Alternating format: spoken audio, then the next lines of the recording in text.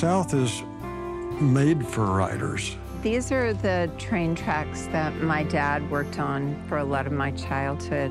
I think the things that unify people in the South are the same things that unify all people. We were brought up in a culture that valued story. I can't imagine having been born anywhere else. The South is like my air. It's what I breathe.